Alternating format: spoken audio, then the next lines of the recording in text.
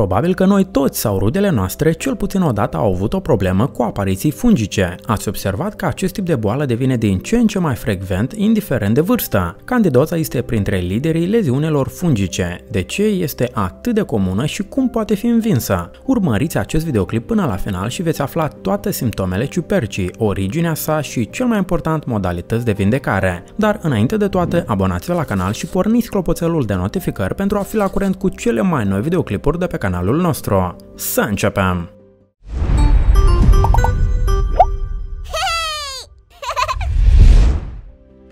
Ce este candidoza? Este o boală cauzată de o ciupercă numită candida. Nu este în întregime corect să crezi că ciuperca este patogenă deoarece într-o normă ok ea ar trebui să existe în corpul nostru. Cu toate acestea, candida nu este capabilă să se înmulțească rapid, dar dacă condițiile din corpul nostru se schimbă, atunci are loc procesul de înmulțire necontrolat.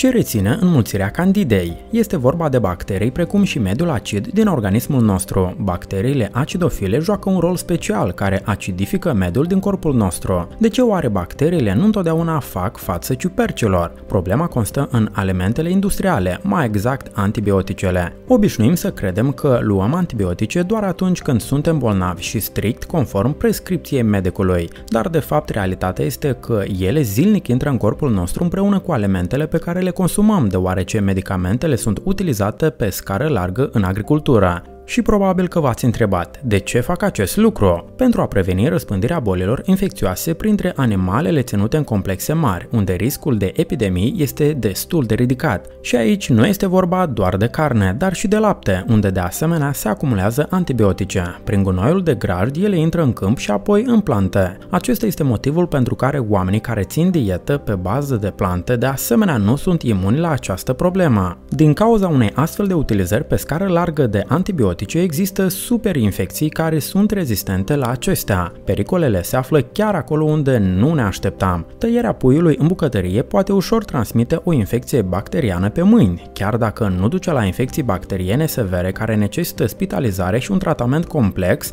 infecția va perturba microbiota intestinală, ca și consecință va crea un mediu ideal pentru creșterea candidei.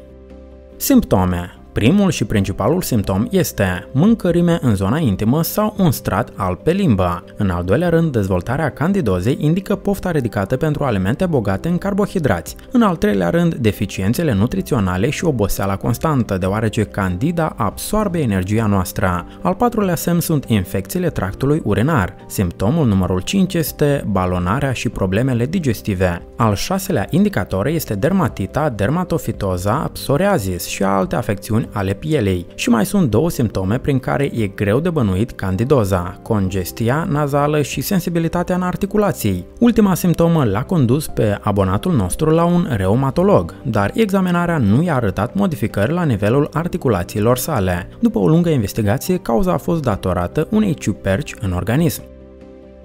Dar ce se poate face în această privință? Bineînțeles că există medicamente pentru a combate candida, dar nu sunt la fel de sigure așa cum ne-am dorit să fie. Ce ar fi dacă am face în așa fel încât ciuperca să nu mai aibă cu ce să se hrănească? Candida nu iubește mediul acid, dar îi place mediul alcalin. Moartea bacteriilor acidofilice fac ca colonul să devină alcalin. În aceste condiții, candida procesează bine zahărul și eliberează amoniacul. Pe lângă uciderea bacteriilor benefice, acest proces poate începe stresul, sarcina și pastilele contraceptive. Dar cum poți opri acest lucru? Cel mai eficient mod este să vă schimbați modul de alimentare și în primul rând pentru a normaliza nivelul de zahăr și a lipsi ciuperca de principala sursă de nutriție. Care este esența acestei diete? Trebuie să reduceți cât mai mult posibil cantitatea de carbohidrați până la 10%. Pentru a face acest lucru, limitați aportul de cereale, produse de panificație, cartofi, fructe și alte alimente cu mult zahăr, inclusiv fast food. În schimb, încercați să mâncați mai multă carne, pește, fructe de mare, legume, ciuperci, produse lactate, ouă și nuci. Pe lângă această alimentație corectă, în lupta împotriva candidei va ajuta consumul regulat de legume fermentate, cum ar fi varza murată. Un alt remediu este usturoiul proaspăt. Acesta este un alt remediu bun pentru a preveni dezvoltarea ciupercelor. Al patrulea remediu important este oțetul de cidru de mere. Adăugați-l la mâncarea dumneavoastră pentru a mări aciditatea mediului din organism. Și în sfârșit, sfârșit, uleiul de oregano sau uleiul de cocos. Ele sporesc eficiența dietei descrise mai sus. Semnele neplăcute ale candidozei vor începe să dispară în primele săptămâni.